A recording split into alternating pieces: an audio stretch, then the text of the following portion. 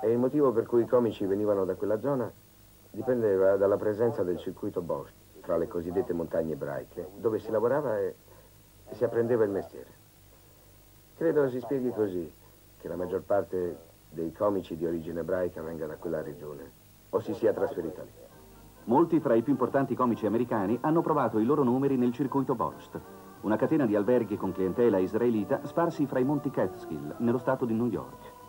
Jerry, aiuto cameriere presso l'hotel Browns di Loch Sheldrake, lo stesso al quale lo vediamo arrivare per un'anteprima del film Il nipote picchiatello, si fa notare per la sua eccentricità e il suo talento di guastafeste prima di debuttare in un'azione mimica eseguita con accompagnamento musicale registrato su disco.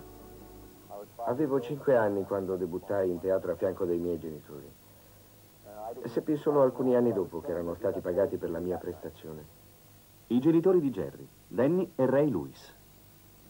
Dopo 50 anni di vita dedicati allo spettacolo, ti chiedi da chi è partita la spinta iniziale. A me l'ha data mio padre, è stato lui il mio maestro.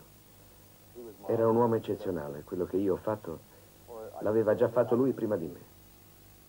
E anche molto meglio. Figlio d'arte, dunque. Jerry, dopo una breve carriera scolastica presso il collegio Irvington nel New Jersey, segue la classica trafila. Fa il cameriere in un ristorante, il commesso, lavora in un cinema. Tutte occupazioni di breve durata perché presto, e senza un particolare incoraggiamento da parte dei genitori, fa il suo ingresso nel mondo